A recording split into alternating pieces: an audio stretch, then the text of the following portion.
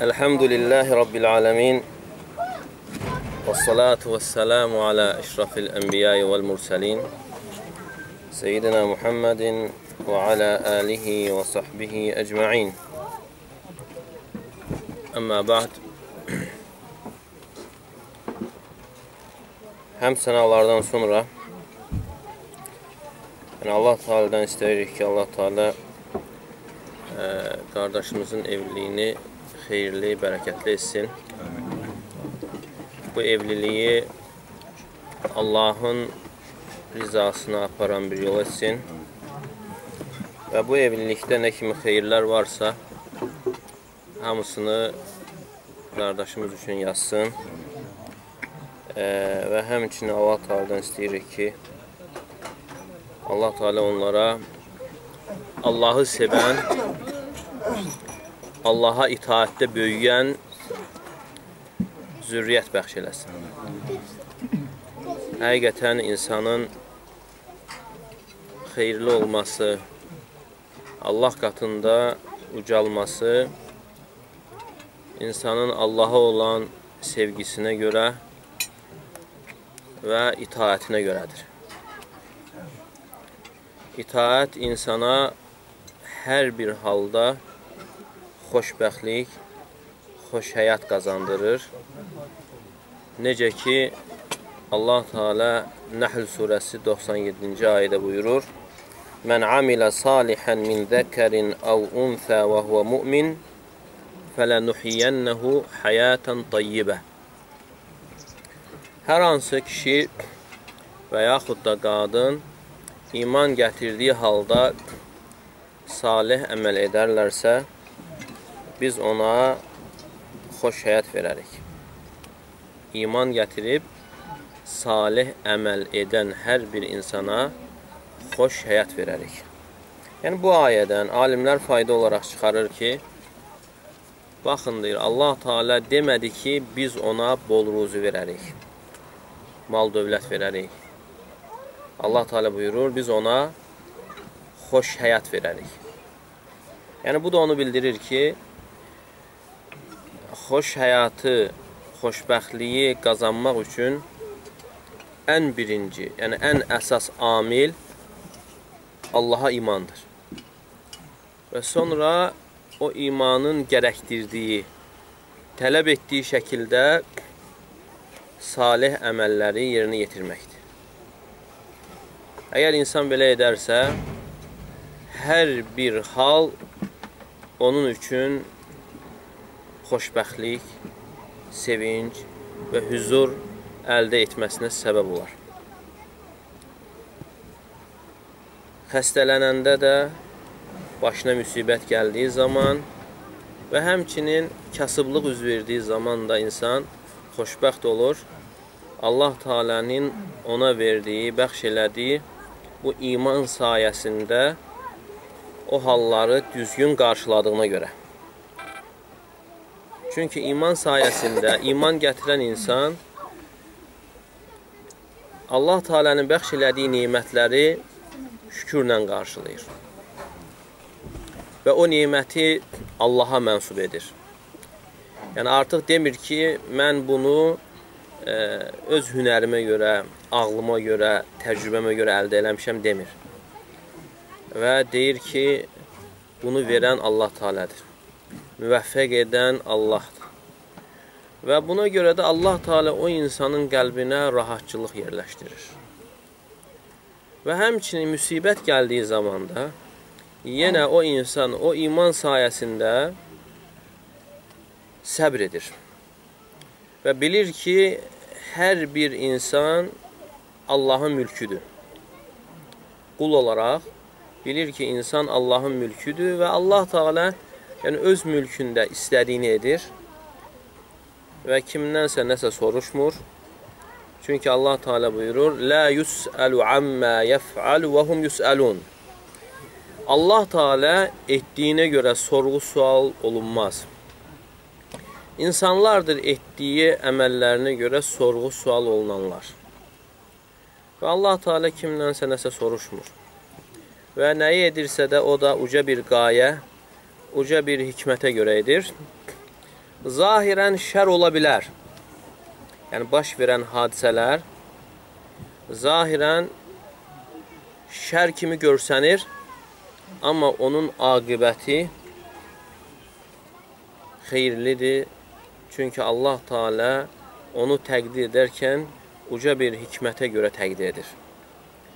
Və Allah Teala'nın e, feilində heç bir şər ola bilməz.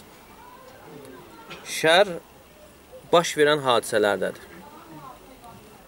Baş verən hadisələrdə şər var. Amma Allah Teala'nın feilində, təqdirində heç bir şər yoxdur.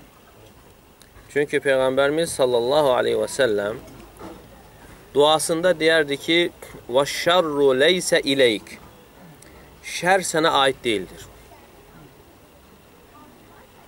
Amma e, başqa yerdə isə oxuyuruq ki, e, imanın dayaqlarında ən tu'minə bil qədəri xeyrihi və şərrih. Qədərə iman gətirmək, onun xeyrinə və şərrinə. Ə, yəni, alimlər bu iki hədisi cəm edəndə deyirlər ki, şər Allah Teala'nın feilində ola bilməz. Allah Teala'nın feilində heç bir şər yoxdur. Şər sadəcə baş verən hadisələrdə yaranmış işlərdə var. Və onun özündə də insan əgər düzgün qarşılayarsa, böyük xeyirlər vardır. Və ona görə insan iman sayəsində Allah Teala'nın ona və bəxş elədiyi bu imanla, bu qaydalarla müsibəti düzgün qarşılayır. Və bilir ki, Allahın mülküdür və Allah Teala öz mülkündə istədiyini edir. Və buna görə də Allah Teala'nın bölgüsünə, təqdirinə razı qalır. Təslim olur və Allah Teala da o insanın qəlbini hidayət edir. Necə ki Allah Teala buyurur: "Və men yu'min billahi yehdi qalbeh." Kim Allaha iman gətirərsə, Allah onun qəlbini hidayət edər. Alqamə rahiməhullah deyir ki, bu o insandır ki, başına bir müsibət gəldiyi zaman onun Allah Teala tərəfindən olduğunu bilər, Allahın bölgüsünə, təqdirinə razı qalaraq təslim olar və Allah Teala onun qəlbinə hidayət yerləşdirər, xoşbəxtlik və rahatlıq yerləşdirər. Yəni görün iman neməti nə qədər, yəni uca bir nemətdir ki, e, insana hər bir anında, hər bir halında xoşbəxtlik qazandırır. Amma iman gətirməyən insan isə və yaxud da düzgün iman gətirməyən insan Allah Teala ona nemət verdiyi zaman neməti özünə mənsub edir. Deyir ki, mən bu neməti ə, e, öz ağlıma görə, təcrübəmə görə, bacarığıma görə əldə eləmişəm deyir. Allaha mənsub etmir, amma yenə rahatlıq tapmır. Yenə o nemətin itmə qorxusu var. Rahat ola bilmir. Oğurlana bilər, yana bilər, itə bilər. Və müsibət zamanı isə yenə iman gətirməyən insan və yaxud da düzgün iman gətirməyən insan özündən çıxır. Vay şivən qoparır, artıq hərəkətlər edir, etiraz edir İnsan bu əməlləri ilə, bu hərəkətləri ilə birincisi müsibəti geri qaytara bilmir. İkinci, əsəbi xəstəliyə tutulur. Üçüncü, nə qədər savablar əldə edəcəkdir əgər səbr etsəydi, onu itirir. Çünki səbr edənlərin mükafatı böyükdür. Allah Teala buyurur: İnnəmə yuvaffəs sabirunə əcrahum bi qeyri hisab. Səbr edənlərin mükafatı hesabsız veriləcəkdir. Və həmçinin dördüncü bundan da daha dəhşətlisi, daha acısı Allahın qəzəbini qazanır. Çünki Peyğəmbər s.ə.v buyurur ki, İnna izaməl cəzai ma izamil bələ. Mükafatın böyüklüyü, savabın böyüklüyü müsibətin böyüklüyünə görədir. Nə qədər çətinliklər, sıxıntılar çox olarsa, böyük olarsa e, və mükafat da böyük olur. Və sonra buyurur ki, İnnallaha idə əhabbə qavmən ibtələhum. Fəmən radiyə fələhu rida və mən səxita fələhu suxt. Allah Teala bir qövmü sevərsə onları imtihana çəkər. Kim razı qalarsa ona Allahın razılığı vardır. Və kim qəzəblənərsə, etiraz edərsə, ona Allahın qəzəbi vardır. Ümumiyyətlə, müsəlman heç vaxt sıxıntı, ağrı, acı, problem istəməməlidir. Arzulamamalıdır. Amma onlar, o sıxıntılar, imtihanlar insan istəmədən, arzulamadan gəldisə, onu yaxşı qarşılaşma, qarşılamağa çalışmalıdır. Çünki onun özündə də böyük xeyirlər vardır. Peyğəmbərimiz sallallahu buyurur ki: "La tetəmənnu liqa'al adu ves'alullahal afiyyə. Fəizə laqitumuhum fasbiru."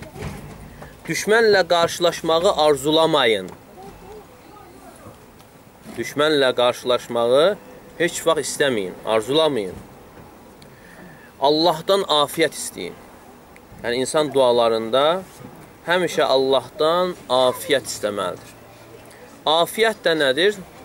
Salamatçılıq Dininin salamatçılığı ən birinci, bədəninin salamatçılığı, malının salamat olması, yəni afiyyət bütün salamatçılıqları özündə əhatə edir. Yəni insan nə istəməlidir? Afiyyət istəməlidir. Amma sonra buyurur ki, فَإِذَا لَقِيتُمُوهُمْ فَصْبِرُوا Əgər qarşılaşdınızsa səbirli olun. Qaçmayın. Sabit olun. Yəni bu hədisdən, yəni alimlər yenə fayda olaraq çıxarır ki, nə üçün? Yəni Peyğəmbər sallallahu əleyhi və səlləm e, düşmənlə qarşılaşmağı istəməyi, arzulamağı çəkindirdi, qadağan etdi. Çünki insan onu arzulayarsa, istəyərsə, aqibəti, sonu bilinməyən fitnə ola bilər. Sonu bilinməyən fitnə ola bilər. Yəni, nə bilirsən? Yəni sabit olacaqsan o fitnədə yoxsa yox. Və ikincisi çox vaxt insan e, bir şeyi arzulayanda qoy gəlsinlər, onları sındırarıq, dağıdarıq, məhv edərik. E, insan özünə güvənmiş olur. Və Allah Teala da kim ki özünə güvənir, ondan yardımını kəsir. Və Allahın da yardımı kəsiləndə insan məhv ola bilər. Amma nə vaxt ki, insan istəmir, çətinliklər, problemlər, arzulamır, həmişə Allaha sığınır, Allaha təvəkkül edir və nə qədər e, sıxıntılar da gəlsə, insanın heç fikrinə gəlmədiyi, hansı ki, heç vaxt e, yəni onu aşa biləcəyi haqqında düşünməzdi də fikrindən belə keçməzdi. Elə bir şeyləri insan Allaha təvəkkül etdiyi üçün, özünə arxayın olmadığı üçün aşa bilir. Deməli, istəmədən oldusa, insan arzulamır, istəmir. Əgər səbr edərsə, Allah Teala tərəfindən insana yardım gəlir. Həmçinin, yəni insan bilməlidir ki, ə, hər baş verən hadisələrdə, sıxıntılarda mömin üçün, müsəlman üçün böyük xeyirlər vardır. Peyğəmbərimiz sallallahu aleyhi və səlləm yenə bir hədisində buyurur ki, Acəbən li əmril mümin. Mən mömin insanın işinə təəccüblənirəm. İnnə amrahu kulləhu ləhu xeyr. Onun hər bir işi onun xeyrinədir. İn asabəthu sərrau şəkara fəkənə xeyran ləh. Nemət verildiyi zaman, sevinclə qarşılaşdığı zaman şükr edir, onun xeyrinədir. Və in asabətu darrau sabara fəkənə xeyranlə müsibətlə qarşılaşdığı zaman səbr edir, yenə onun xeyrinədir. Fəleysə zəlikə illə lil mümin. Və bu mömindən başqası üçün ola bilməz. Niyə ola bilməz? Çünki başqası düzgün qarşılamır. Həmçinin, yəni bu sıxıntılarda və yaxud da xəstəliklərdə ə, insanın dərəcəsinin qaldırılmasına və eyni zamanda günahlarının kaffarə olmasına, silinməsinə səbəbdir. Yəni bu müsibətlər, sıxıntılar, xəstəliklər. Ə, çünki yenə başqa bir hədisdə Allah Rasulü sallallahu əleyhi və səlləm buyurur ki, qulun Allah qatında əzəldən yazılmış bir dərəcəsi olur. Qul o dərəcəyə əməli ilə çatmır. Etdiyi əməllər, ibadətləri onu o dərəcəyə çatdırmır. Və Allah Teala qulunu əzəldən yazılmış dərəcəyə çatdırmaq üçün müsibətlər göndərir. Yəni o müsibətlərlə əzəldən yazılmış dərəcəyə qulunu qaldırır. Yəni ona görə insan bilməlidir ki, Allah Teala Ar-Rahmanur Rahimindir. Ən böyük mərhəmət sahibidir. Allah Teala'nın bəndəsinə olan mərhəməti şəfqətli ananın evladına olan mərhəmətindən daha böyükdür. Və siz sən bilməlisən ki, Allah Teala sənə sənin özündən daha rəhimlidir. Əgər bu sıxıntılar o böyük mərhəmət sahibi tərəfindən gəlibsə, yəni bilməlisən ki, bu zahirən şər görünsə də burada böyük xeyirlər və mərhəmət vardır. Ona görə sələflərdən biri deyərdi ki, Əhabbuhu iləyyə, əhabbuhu iləyh. Ona sevimli olan mənə də sevimlidir. Əgər bu Allahın təqdiri ilə baş veribsə, Allah Teala bunu istəyibsə, mən də yəni bu halımla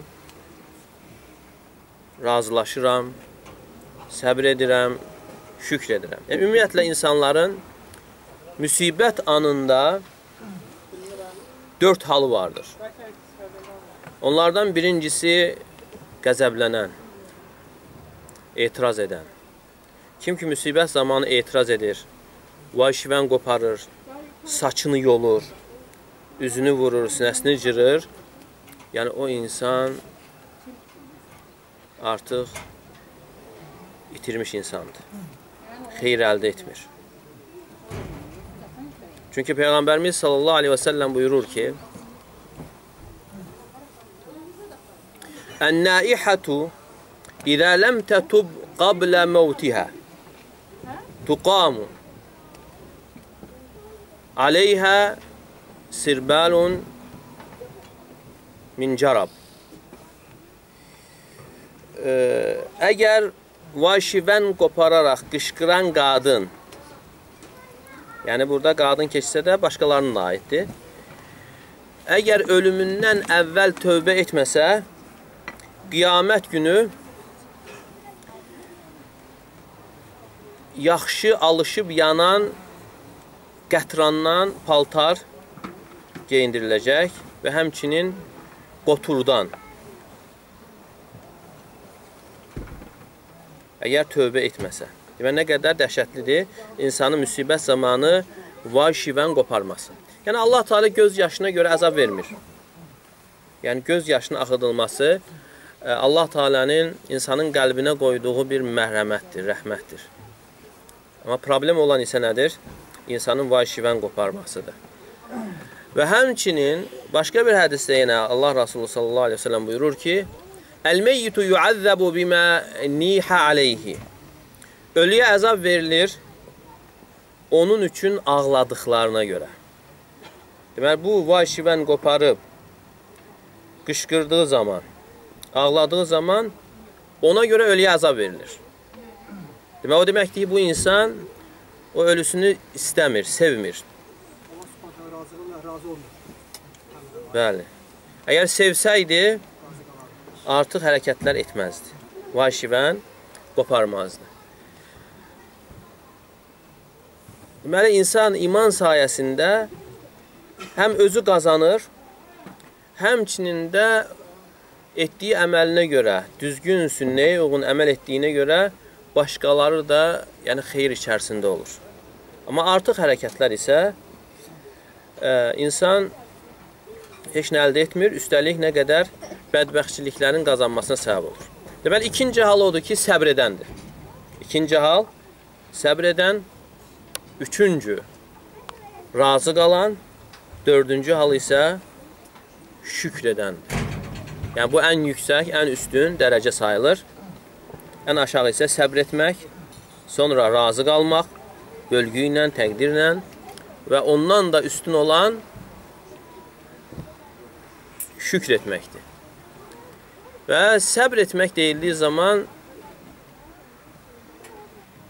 müsibətin ilk anında olan səbir, səbir sayılır. 2-3 gün keçəndən sonra insanın etdiyi səbir, səbir sayılmır. Ona görə buna nə deyilir? Heyvani səbir adlanır.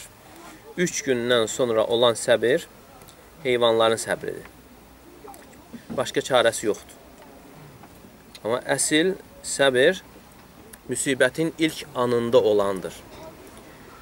Bir dəfə Peyğəmbər sallallahu aleyhi və səlləm qəbrin üzərində ölmüş uşağı üçün ağlayan qadının, ananın yanından keçir və ona deyir ki, İttəqilləhə vasbiri.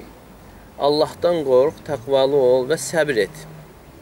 Və o qadın Peyğəmbər sallallahu aleyhi və səlləmi tanımır. Və deyir ki, İleykə anni və ləm tusab bi musibətiyə, məndən uzaq ol. Mənim başıma gələn sənin başına gəlməyib. Və sonradan deyirlər ki, o Peyğəmbər sallallahu aleyhi və səlləm idi. Ondan sonra gedir qapısına, yəni üzrxahlıq istəmək üçün, diləmək üçün və onda Peyğəmbər sallallahu aleyhi və səlləm deyir ki, İnnəmə sabru ində sadmətil ulə. Yəni, əsl səbir müsibətin ilk anında olandır. O müsibət gələn vaxtı, baş verən vaxtı olan səbirdir. Yəni, sonraki səbir bir neçə gün keçəndən sonra insanın etdiyi səbir, səbir sayılmır. Ona görə alimlər deyərdi ki, e, axmağın üç gündən sonra etdiyini ağıllı insan müsibətin ilk anında etməlidir. Yəni, axmaq da, dəli də üç gündən sonra sakitləşir. Amma ağıllı insan isə müsibətin yəni ilk anında etməlidir. Deməli, e, yəni bunları insanın bilməsi e, mənəvi təsəlli tapmasına səbəbdir. Əgər bunları bilərsə, yəni baş verən hadisələr e, boşa getmir və həm günahlar bağışlanır, günahlara kəffarədir və eyni zamanda dərəcələrinin də qalxmasına səbəb olur və həmçinin başqa müsibətlərin də qarşısını alır başqa müsibətlərin də qarşısını almasına səbəbdir. Yəni müəyyən yəni hadisələr var, onu tez-tez xatırladırıq. Ə, həqiqətən faydalı olduğu üçün. Yəni o nə bilirsəndir ki, ola bilsin o baş verən hadisələr daha böyük müsibətlərin qarşısının alınmasına səbəbdir. Küfənin valisi Ubeydullah ibn Ziyadın sərkərdələrindən biri yuxarıdan, yəni səthdən düşərək ayaqlarının ikisində sınır, qırılır e, və bunu ziyarət edir böyük tabinlərdən, alimlərdən biri Abu Qiləb rahimehullah və gələrək ona təsəlli verir. Və deyir ki, burada da xeyirlər var.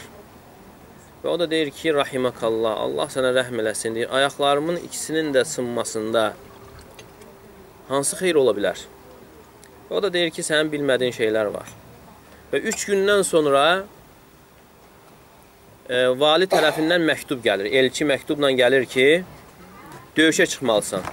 Kimə qarşı? Peyğəmbər sallallahu aleyhi və səlləmin nəvəsi Hüseyin radiyallahu anhuya qarşı döyüşdə iştirak eləməlisən.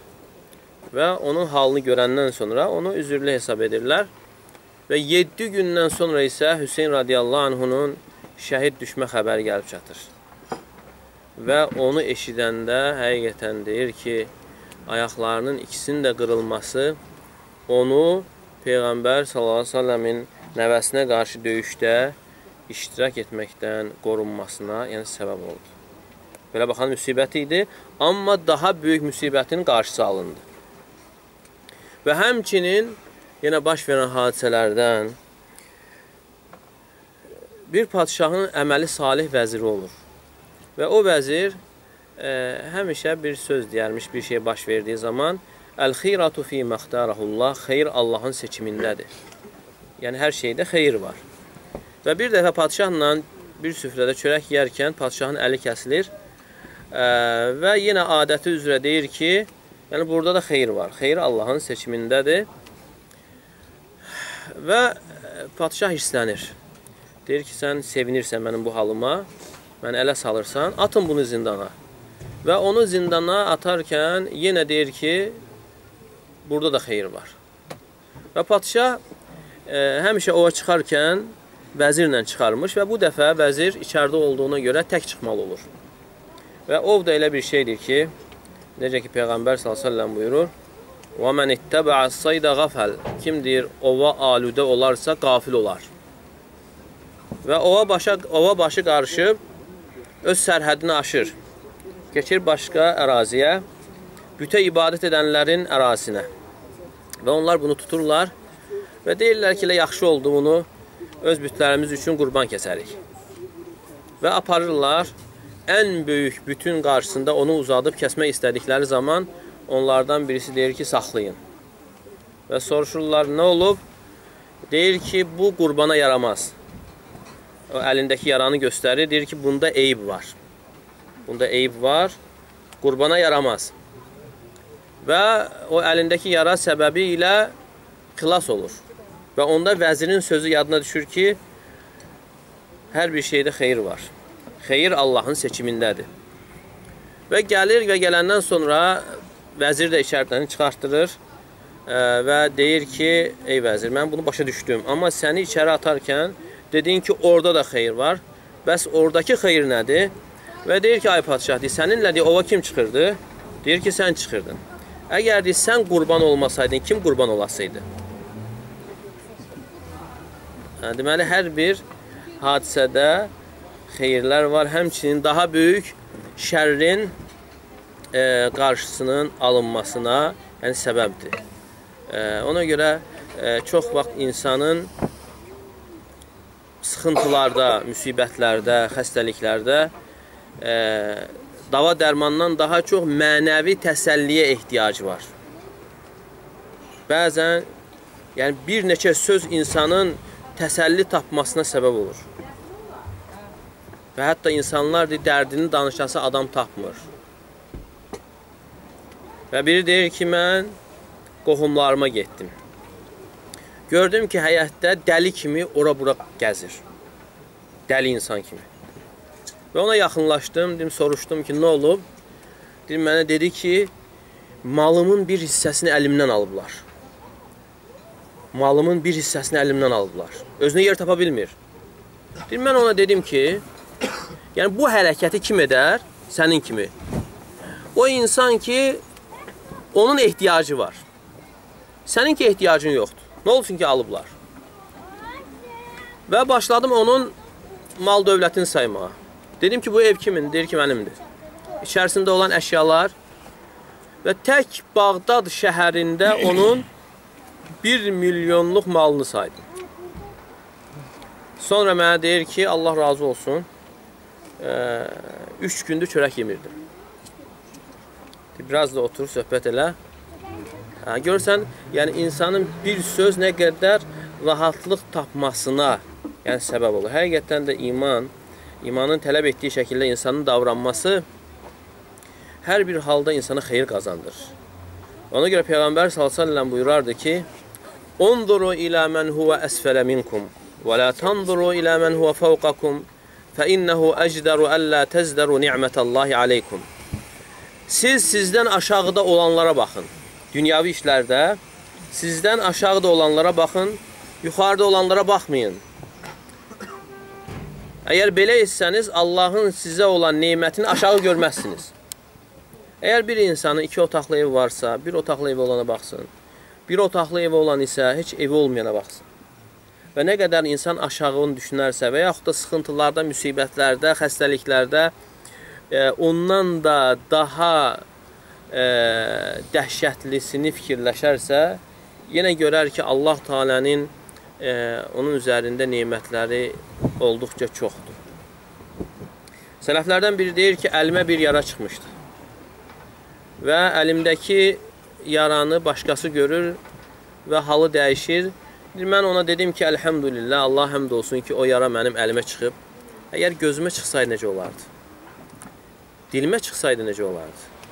Deməli, insan nə qədər ağrını, dəhşətlisini fikirləşəndə yenə artıq bilər ki, Allah Taala'nın ona olan nemətləri çoxdur, nemət içərisindədir. Və başqa birisi deyir ki, mən bir xəstəni ziyarət etdim. Xəstəliyin şiddətindən inildiyirdi. Deyir, mən ona dedim ki, Allah şükür elə. Allah şükür elə ki, sənin qorunmaq üçün, daldalanmaq üçün yağışdan, soyuqdan yerin var, evin var və sənə xidmət edənlər də var sığınacaq, isinəcək yerin var və sən xatırla küçə-bacaya atılanları, küçələrdə yaşayanları, nə onların daldalanacaq yeri var, ə, isinəcək yeri var, nə də onlara xidmət edənlər var. Və ikinci dəfə deyir, artıq onun yanına girdiyim zaman inildəmirdi. Deməli, gör, sözlər yəni insana necə təsir edir. İkinci dəfə yanına girdiyim zaman artıq nədir? İnildəmirdi. Və başqa birisi deyir ki, mən bir insan gördüm. Xəstə idi. Kasıb, kör və üstəlik də əlil. Xəstə, kasıb, kör, əlil. Və gördüm ki, o müəyyən sözlər deyir. Və yaxınlaşandan sonra o sözləri eşitdim, onun təkrarladığı sözləri və deyirdi ki, Elhamdülillahilləzi faddalani alə kəsirin min ibadi. Məni yaratdıqlarının çoxundan üstün edən Allah həmd olsun. Məni yaratdıqlarının çoxundan üstün edən Allah Teala həmdə layiqdir. Yəni buna çox qəribə gəlir. Yəni bunda nə var ki, bu çoxundan üstün olub? Və ona yaxınlaşdım və dedim ki, rahimakallah, bimədə faddalək, yəni Allah sənə rəhm eləsin. Allah səni nə ilə üstün edib? O mənə dedi ki, razaqani qalbən şakiran və lisanən zəkiran və cəsədən aləl bəla'i sabira. Allah Teala mənə şükr edən qəlb, zikr edən dil və müsibətdə səbr edən bədən verib. Və bu da çoxlarında yoxdur. Ona görə Allah Teala buyurur ki, əsl körlər qəlbi kör olanlardır başındakı gözləri kör olanlar deyildir. Çünki Allah Teala buyurur: "Fe innaha la ta'mal absar, velakin ta'mal qulubul lati fis sudur." Gözlər kör olmaz. Kör olan sinələrdəki qəlblərdir. Neçə-neçə insanlar vardır ki, kördür, başındakı gözləri görmür, amma o insan Rəbbini tanıdığına görə, ona ibadət etdiyinə görə, yəni bir çox görənlərdən üstündür. O kör sayılmır. Kör insan Rəbbini tanımayan, onun əmirlərini yerinə yetirməyən, onun qadağalarından çəkinməyən insan olur. Allah Teala o qədər nemətlər verir, saysız hesabsız, amma bu nemətlərə qarşı, yəni bizim etdiyimiz nədir? Allah Teala'nın bəxş elədiyi nemətlərin hər birini günahla, asiliklə qarşılayırıq. Və sonra deyirik ki, Allahın quluyuq. Heç qul da ağasına asi olarmı? Hanı bəs qulluq? O qulluğun göstəricisi, onun əlaməti qul da ağasına asi olarmı? Və nə vaxt ki, insan yəni bunları öyrənir və bunları tətbiq edir, yəni hər bir halında xeyr içərisində olur. Ola bilər zahirən e, müsibətlər olsun, şər olsun, amma işin həqiqətində isə mömin üçün boşa gedən heç bir şey yoxdur. Hətta sıxıntı belə, kədərlənməsi belə, qəm, qüssə çəkməsi boşa getmir. Onun özü də kəffarədir. İbn Teymiyyə rahimehullah deyərdi ki: "Məzə yef'alu a'da'u bi? Fe inne bustani və cənnəti fi sadri." Düşmənlərim mənə nə edə bilərlər? Mənimdir cənnətim mənim köksümdədir. Əgər məni öldürsələr bu şəhidlikdir. Əgər zindana salsalar Allahla tək qalmaqdır. Əgər sürgün eləsələr bu da səyahətdir. Yəni əsas cənnətdir burdadır. Yəni onlar bura çata bilməzlərdir. Çöldən nəsə edə bilərlər, amma qəlbə çatmaları mümkün deyildir. Ona görə İbn Qayyim rahimehullah deyərdi ki, bəzən biz çöldə olmağımıza baxmayaraq, azadlıqda geniş dünya bizə genişliyi ilə dar gəlirdi. Sıxılırdıq. Və gedirdik içəri türməyə İbn Teymiyyanın yanına və o bir neçə kəlmə danışdıqdan sonra bütün sıxıntılarımız aradan qalxırdı. Elə bil ki, deyir, zindanda olan o deyil bizik. Baxmayaraq ki, dörd divar arasındadır, yəni insan neymətlər içərisində idi. O sıxıntıları hiss eləmirdi. O da nəyin sayəsindədir? O qəlbində olan, yəni imanın, yəqinliyin sayəsindədir. Və ona görə İbn Teymiyyə rahmeullah deyərdi ki: "İnne fid dunya cennə." Dünyada cənnət vardır. Dünyada bir cənnət var. Mən ləm yedxulha ləm yedxul cənnətəl axirə. Kim dünyanın cənnətinə girməzsə, axirətin cənnətinə girməz. Dünyanın da cənnəti iman, yəqinlikdir. O qəlbdə oldusa, yəni artıq ona başqa şeylər yəni təsir eləmir və hər bir halını da düzgün qarşılayanlardan olur. E, və Allah Taala'dan istəyirik ki, Allah Taala e, hər birimizi doğru olana müvəffəq eləsin və Allah Taala xalqımızı hidayət etsin, tövhidə yönəltsin, şirkdən qorusun və Allah Taala qardaşımız da həm ailəsi ilə birlikdə bu dünyanın səadətinə və həmçinin axirətin səadətinə qovuşdursun. Allah razı olsun. قال فبعزتك لأغوينهم أجمعين إلا عبادك منهم المخلصين